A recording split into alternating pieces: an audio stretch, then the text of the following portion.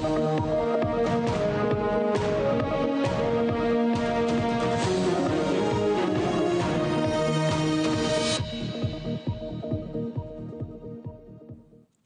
эфире новости на Горизонт ТВ. В эфире Олеся Коряк. Здравствуйте. Прямо сейчас расскажем об основных событиях дня к этому часу. НАТО постоянно анализирует, чем можно помочь Кишиневу, в том числе в сфере противовоздушной обороны. Об этом заявил генеральный секретарь Североатлантического альянса Е. Столтенберг 14 июня в Брюсселе на пресс-конференции в преддверии совещания министров обороны стран НАТО.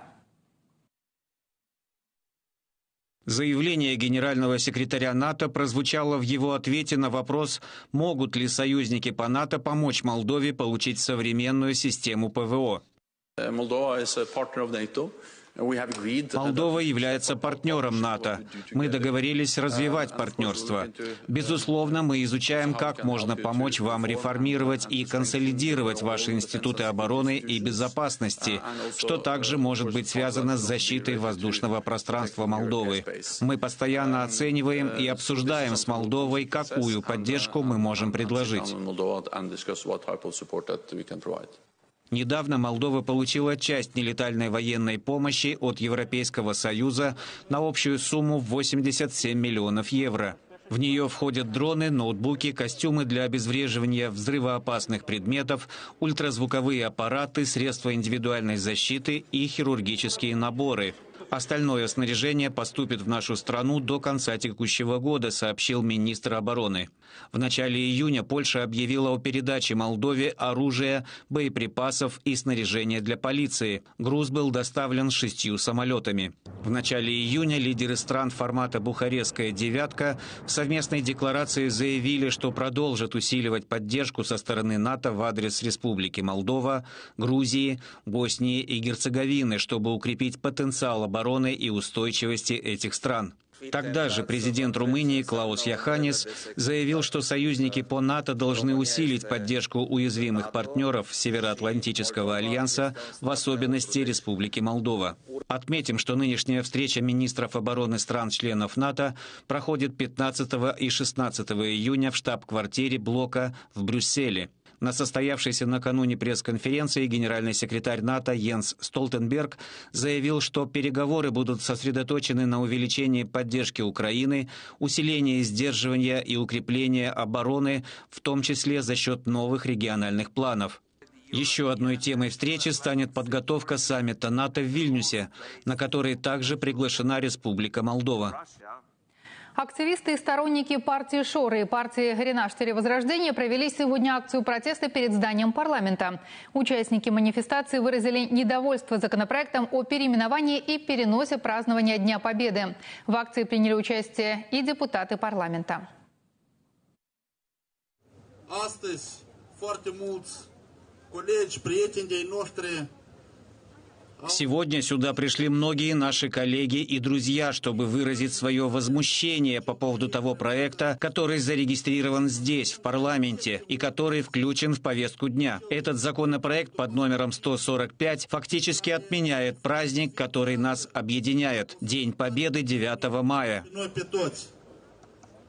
Victoriei, ziua de 9 mai.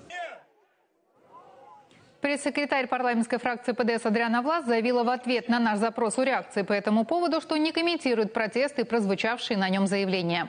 Напомним, согласно законопроекту, разработанному партией «Действие и солидарность», День Победы и памяти павших героев за независимость Родины, отмечаемый в Республике Молдова 9 мая, предлагается заменить на День Победы над нацизмом и памяти павших во Второй мировой войне, который с 2024 года будет отмечаться 8 мая. В первом варианте законопроекта предлагалось нынешнее название заменить на День памяти и примирения в честь погибших во Второй мировой войне. Однако позднее депутаты от ПДС внесли соответствующие изменения. Этот законопроект не необходим с учетом сохраняющейся до сих пор путаницы между реальной датой окончания Второй мировой войны на европейском континенте 8 мая с одной стороны и 9 мая датой, навязанной Сталиным и СССР социалистическому лагерю, чтобы присвоить первостепенную роль в победе над бывшими нацистскими союзниками, говорится в законопроекте депутатов от правящей партии. Авторы также утверждают, что инициатива исправляет историческую двусмысленность, которую поддерживали предыдущие власти, настаивая на дате окончания Второй мировой войны на европейском континенте 9 мая. В настоящее время данный проект закона находится на рассмотрении законодательного органа страны.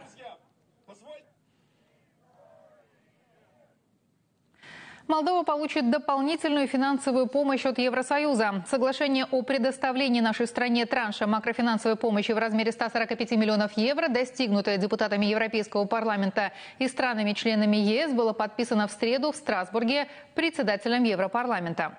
Как написала Роберта Мецола в своем твиттере, три недели назад я сказала жителям Молдовы, что они не одиноки.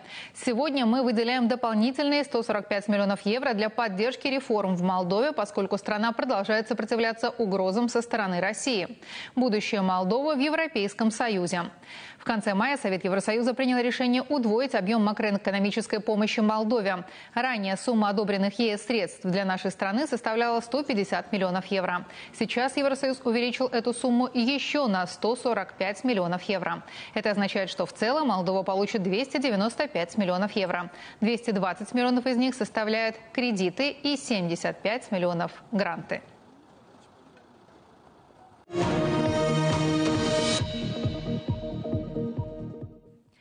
Православная церковь осуждает кремацию человеческих тел. Об этом телеканалу «Горизонт ТВ» заявил викарий митрополии Кишиневской всея Молдовы епископ Псаровский Иоанн.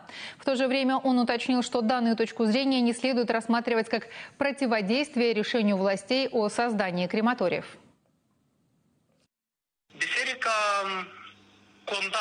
Церковь осуждает сжигание или кремацию тела человека, поскольку человеческое тело должно почитаться и цениться. Согласно православному учению, человек взят от земли и в землю возвратится. Кремируя человеческие тела, мы нарушаем человеческое достоинство. Мы стираем всякую память о живом человеке. Церковь доводит до сведения людей, как они должны поступать в духовном, нравственном плане. Но далее уже это касается тех, кто принимает такое решение.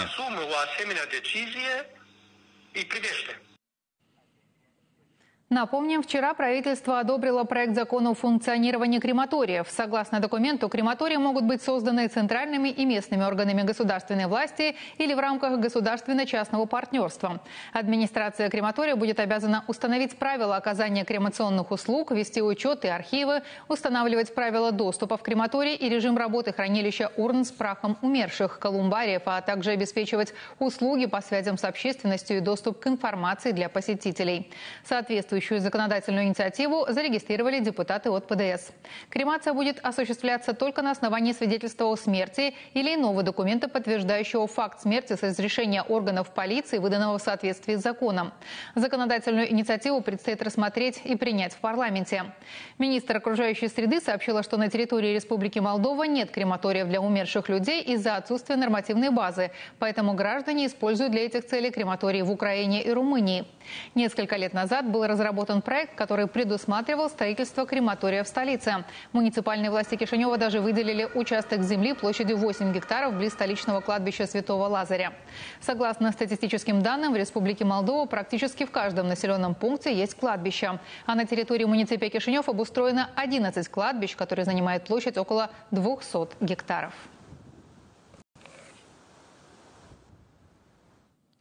40 сотрудников Национального центра догоспитальной скорой медицинской помощи находятся под угрозой увольнения. Об этом стало известно после того, как 13 июня в ряде СМИ было опубликовано письмо, адресованное премьер-министру Дарину Ричану, председателю парламента Игорю Гроссу, а также некоторым депутатам. В нем утверждается, что министр Алла Немиренко оказывает давление на неугодных сотрудников, в том числе для того, чтобы они уволились, а также, что она продвигает своих близких. Мы просто хотим, чтобы госпожа Немиренко позволила нам работать так, как мы работали, говорится в обращении. Наш телеканал обратился за реакцией к министру здравоохранения Али Немиренко. Что она ответила, смотрите в следующем сюжете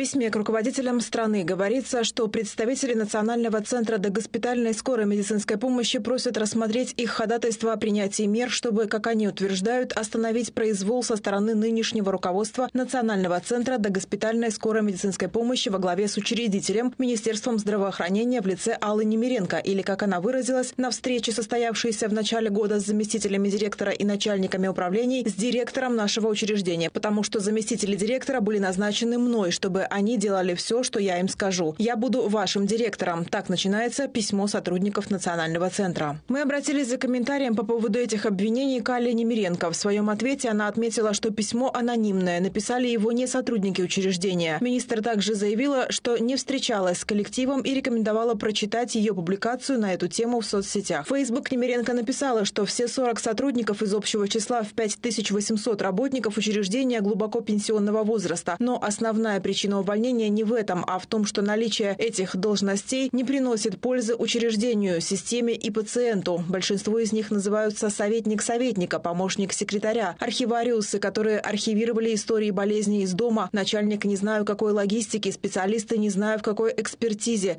секретарши-машинистки, статистики, которые не вели статистику своего присутствия на работе и другие, также отметила Немиренко. С реакцией на эту тему выступил и пресс-секретарь правительства Даниэл Воды. Он заявил, что в учреждении проходит реорганизация, в том числе на уровне персонала, и это может вызывать недовольство среди сотрудников центра. По мнению Воды, появление в публичном пространстве подобной корреспонденции может быть манипуляцией с целью введения общественности в заблуждение.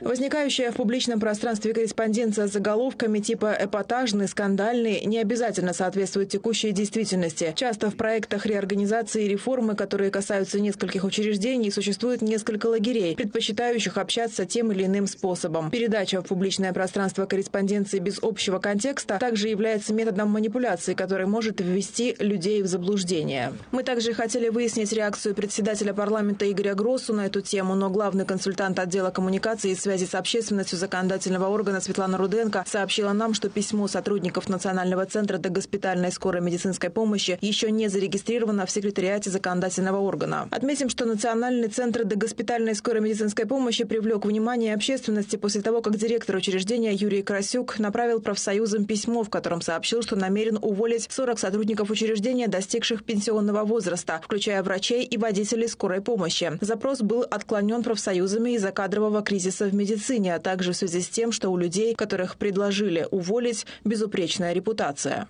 В обнародованной реакции Национального центра указывается, что из 40 сотрудников-пенсионеров 27 относятся к немедицинскому персоналу, а 13 с медицинским образованием входят в число административного персонала, и их увольнение никоим образом не повлияет на качество скорой медицинской помощи населению. При этом сокращения будут производиться для оптимизации финансово-экономических затрат и повышения эффективности деятельности всей службы, заявляет руководство медучреждения.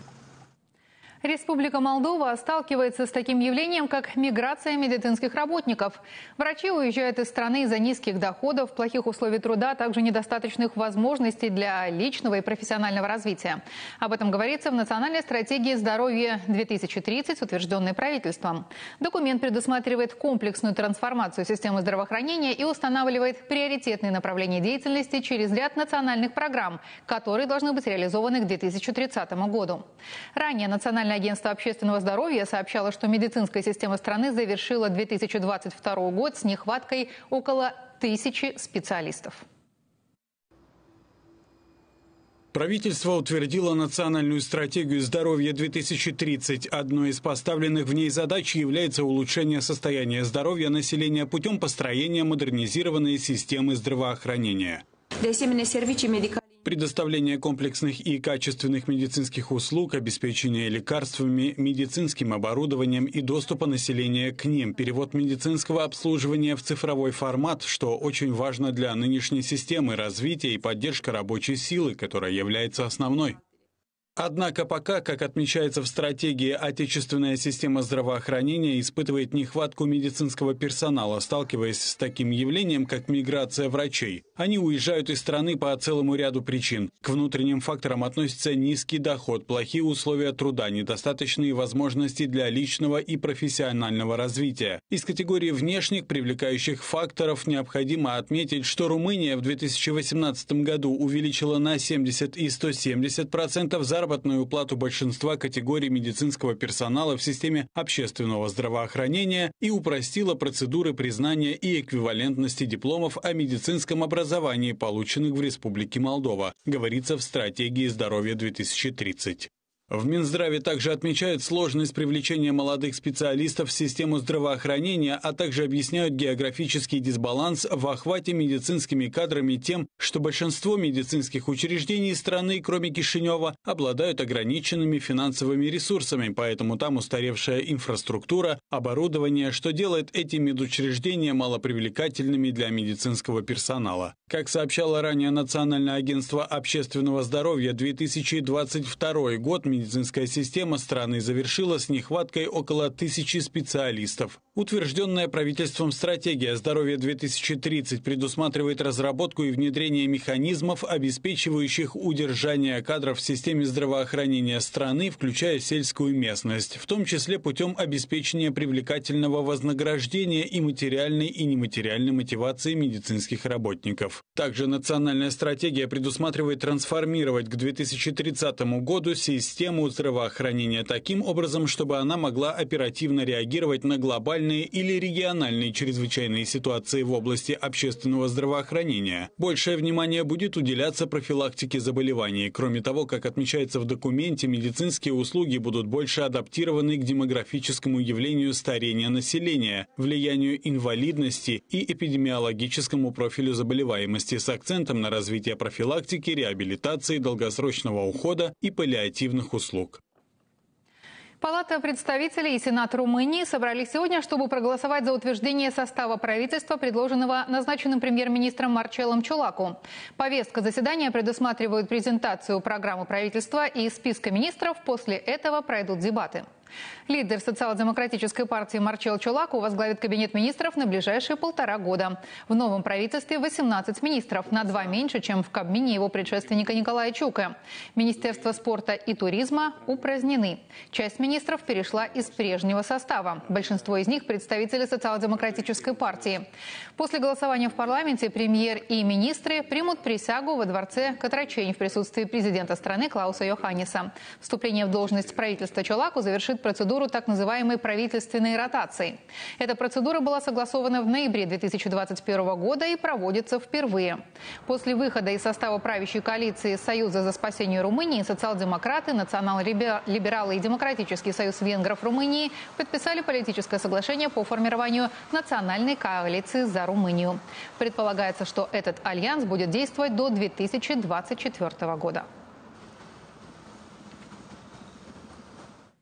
И вновь к новостям внутренним. Национальное агентство по безопасности пищевых продуктов провело сегодня внеплановые проверки перевозчиков животных, предприятий по их выращиванию, забою, а также на рынках страны.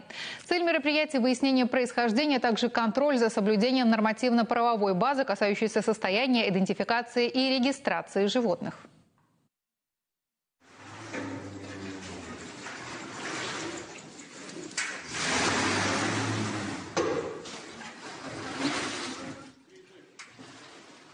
Агентство отмечает, что незаконная перевозка животных влечет за собой риск возникновения вспышек таких заболеваний, как чума свиней, птичий грипп, бешенство, а также появление на рынке мяса из нелегально работающих скотобоин, которое может представлять угрозу для здоровья человека. Внеплановые проверки направлены на борьбу с правонарушениями, отмечается в сообщении Национального агентства по безопасности пищевых продуктов. Специалисты призывают граждан не приобретать животных без ветеринарных сертификатов, а продукты питания в неавторизированных местах.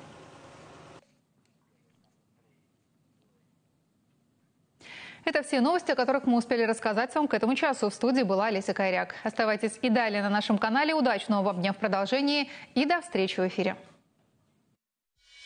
Thank you.